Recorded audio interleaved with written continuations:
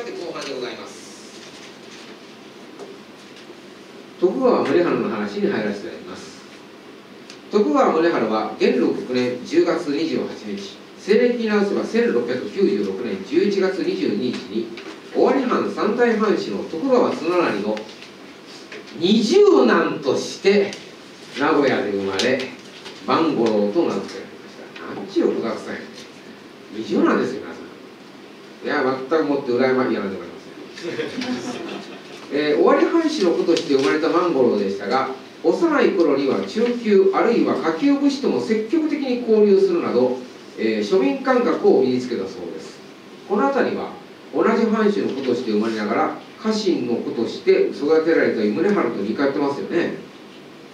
で宝永5年1708年11月万五郎は兄で四代藩士の徳川義道より返記を受け道春と名乗りました。義道の道をもらったんですね。なお義道は国で夕食をする際には必ず共にいさせたほど末弟の宗春を可愛がったそうです。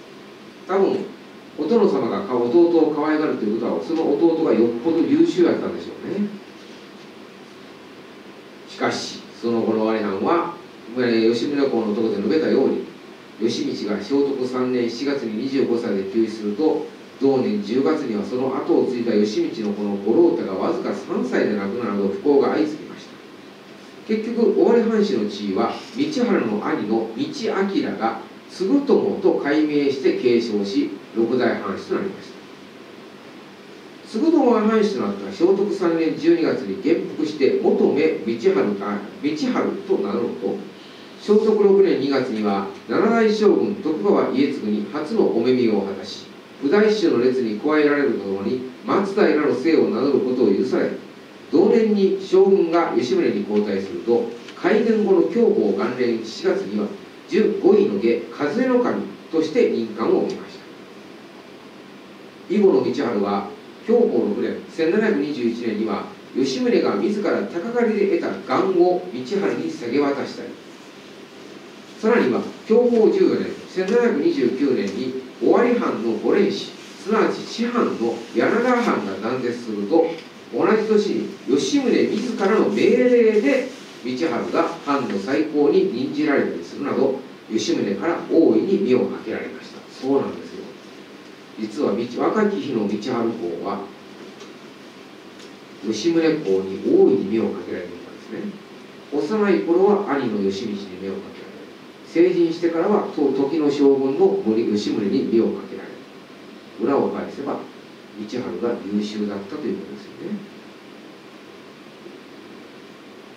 かくして部屋住みの身から柳川藩三万石の大名となり同意に十 C の下自重に任官して幕閣と同格になった。ここも大きいですよ。道春はもはや幕閣と同格なんです。地位としてはね。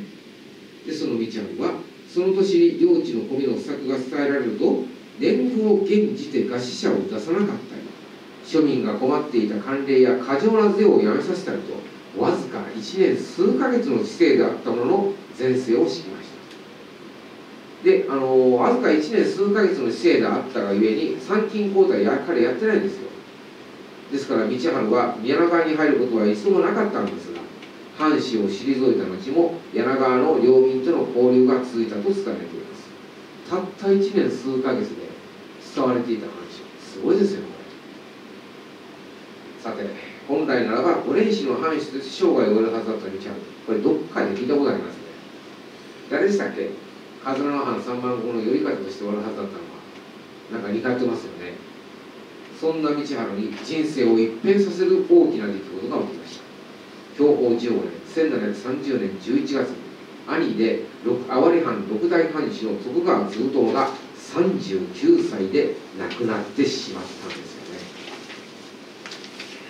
この時継友には子は愚か養子師つまり跡継ぎすらいませんでした。でこのためもちろん尾張藩を潰すわけにはいきませんから3人の五連氏の中から後継者を選ぶことに徴用の女つまり年齢を優先するならば道春の兄である美濃高須藩の松平義高が本家を継ぐはずでした。しかし将軍家から義継友の遺言という名目で実際には吉宗の計らいによって道春が尾張藩を相続することになったのです。かくして藩士の二十男で長年の部屋住みを経験した松平道春。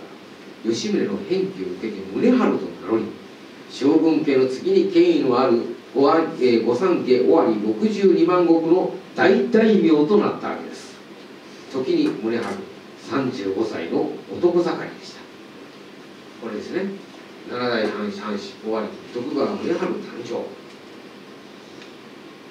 で皆さんもうこの段階であのドラマの嘘が分かりますよ吉宗宗春は吉宗と将軍職を争って争ってません。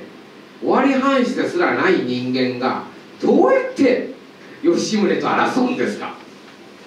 吉宗春が尾張藩士になったのはここに書いてある通り享保15年つまり1730年ですよ。吉宗が将軍に就任してからすでに14年も経ってるのにそれが将軍家争うわけないじゃないですか。まあこの辺りあの時代劇の罪との時代劇の功罪の罪の部分ですよね。まあどうしても勧善懲悪ですからね時代劇は。誰かをスケープゴートにしなきゃいけないんですよ。だから宗春をスケープゴートにしたんでしょうけど。でスケープゴートにふさわしいさっきの俳優の方が言ってましたよね。あの人が演じれば演じるほどむちゃくちゃ憎らしくなりますからね。まあこういったところがあの時代劇の悪いところです。いやいいところもいっぱいあるんですけどね。さて話をさて宗春が尾張藩士になった当時は先日の通り徳川宗春による足で吉宗による享保の改革が行われており財政難に苦しむ幕府財政の立て直しの真っ最中でしたましてえー、吉宗は支出を抑えるために厳しい金額令を出しましたがこれを庶民にも強要したことによって行き過ぎた緊縮政策が人々の消費を冷え込ませたことから景気が悪化しておりそれは宗春以前の尾張藩でも例外ではなくお膝元の名古屋は火の消えたようなサービスがされてたんですよね。でそんな尾張の人々の度肝を抜いたのが宗春の藩主としての初のお国でした。ちょっと色は違ってますけどほとんどこんな感じだと思ってください。大名行列において宗春は別行をあしらった東尋坊をかぶり衣装は旅に至るまで全て黒で統一させ衣装の襟や袖には金糸つまり金の糸が縫い付けられ漆黒の馬にまたがった宗春の姿を見た庶民は新しい藩主に大いに期待するようになりまた宗春も彼らの期待に応えたさまざまな施策を実行することになるわけです。これはお国の時の絵をイメージして書いてます。まあ色は違いますけども名古屋中にこの絵がちゃんと考えられてるんですよ。これだけでもド派手なの分かりますよね。さて享保17年正月。宗春は自らが表したこちらです。恩知西洋を藩士に配布しました。ここに書いてますね。恩知西洋と書きます。で、えー、これ21箇条からある動詞は大きな愛つまり字と寛容なる心つまり人とを説いた政治宣言書でありあの長くなる全部読んだら長くなるので簡単にまとめると以下のような概要が知られています。第1条。大きな愛と広い寛容の心で人徳ある祭りごと第2条。愛に敵なし権現様つまり家康のように神社である。第3条。冤罪は国の恥罪過はとこそん調べ尽くせ。誰でしたかねとことん調べ尽くす前に大臣に共有させたのは。第4条継続は力なり私欲に走らず志を最後まで。私欲に走ってる人多いですね。第5条学問の第一は愛情小賢しい学問より自分自身に正しくあれ。第6条適材適所どんなものにもそれぞれの能力がある。第7条好きこそものの上手なれ他の者の心情を察するよう。に第8条規制は必要最小限によい法令は少ないほど守ることができる。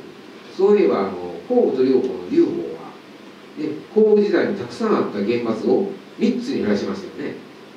あれであの劉邦は庶民から大人気を受けたっていう逸話が残ってます。第9条お金は生かして使い過度な倹約省略はかえって無益になる第10条生かすも殺すも庶民の知恵押し付けではなくまずは仲良く。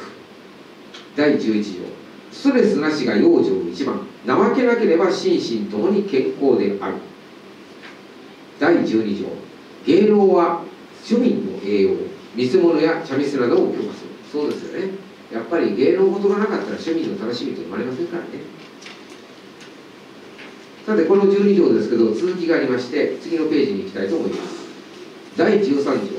先立ちはあらわ欲しきこと。どんなことでも使用通だね。皆さんあらわ欲しきっていうのは何事にもその道の先生や指導者はいてほしいというものであるという意味です。あらわ欲しきこと。これつれづれ腐れずれてきます。そして第14条。芸能は偉大。